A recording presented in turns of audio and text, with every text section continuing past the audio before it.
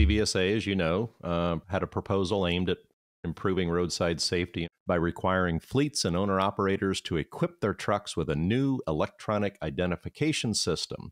Essentially, what we would like is for every commercial motor vehicle out there to be able to communicate wirelessly, electronically to enforcement. This is me. This is me. And so the idea is that if we could better identify not just the motor carrier, but the vehicle itself, then we would be able to make better informed decisions about which vehicles to stop and inspect. One of the questions is should PII be transmitted as part of the universal ID? And the answer is categorically no. Now, that should make the uh, carriers much happier because I know that's their big pushback.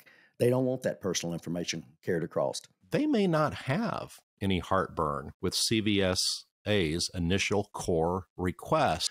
If, for example, only the US DOT number was really all the information that was being transmitted.